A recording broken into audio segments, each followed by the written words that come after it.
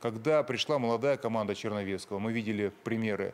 И сегодня город Киев э, уже стоит долгое время без, находится без мэра. Уничтожено полностью самоуправление.